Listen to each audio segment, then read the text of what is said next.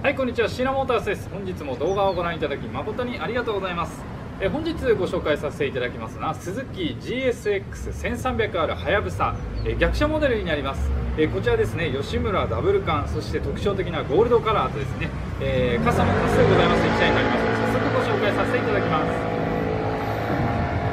えー、まずフロント周りですね、えー、こちら、えー、スクリーンはスモークスクリーンですね。こちらカスタム済みです、え大きな転倒傷などはなさそうですね。カール割れ等もございません。ヘッドライトの大きな割れもない状態です、えフロントフェンダーもですね大きな割れ転倒傷などもない状態です。ホイールの大きなガリ傷、えへこみなどもないですね、え倒立フロントフォークの大きなにじみ漏れこういったものもございません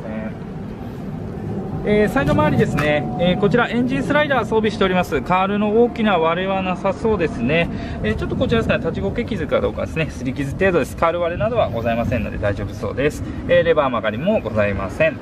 えリア周りですね。えー、こちら、えー、マフラーは吉村さんの、えー、カーボンダブル缶です、え後ほど音の方はご紹介させていただきます、えリアホイールもですね大きな曲がり、えガリ傷ともない綺麗な状態ですね、えリア周りはフェンダーレスキットですっきりとした、え仕上がりになっております、え反対側ですね回っていただきましてシートです。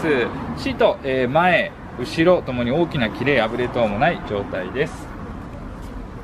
え、タンクですね、タンク周り大きな、えー、転倒傷、へこみ等もない状態です、えー、ハンドルはですね、えバーハンドル仕様にカスタム済み、えあとはタンク内ですね、はい、タンク内もですね大きな錆腐食等はございません。はい、ではエンジンの方を始動していきます。